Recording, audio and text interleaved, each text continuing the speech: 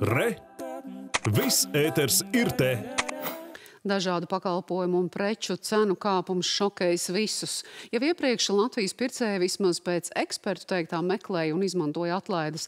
Tagad cenas nozīme izvēloties pirkumu patērētājiem tikai pieaugs. Par izmaiņām darbībā ziņo arī lielveikali. Tā uzņēmums Rivī paziņojas, ka līdz decembrim nepalielināšot cenas simt visvairāk pieprasītiem produktiem. Biznesa augstskolas turība asociētā profesore Zana Driņķa uzskata, ka iedzīvotāji akciju ievēros, bet kā tas ietekmēs konkurenci konkurence. To pat labi nevar prognozēt.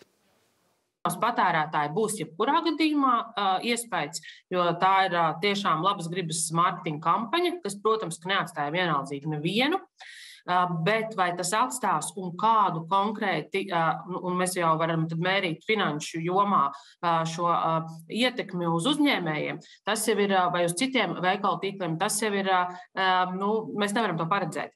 Jo mēs nezinām, kādas ir nu, šo uzņēmēju vai uzņēmumu un citu veikalu tīklu arī nākamās aktivitātes, lai izdzīvotu šos grūtos laikus. Un te ir vēlreiz, kā es teicu, jādala divās kategorijās. Lielie tīkli vai tiešie konkurenti noteikti nu, šo iespēju jutīs mazāk. Mazie vidējie konkurenti ja, vai mazie vidēji uzņēmumi noteikti dabūs pārskatīt savu darbību un savu strateģisko mērķu virzību.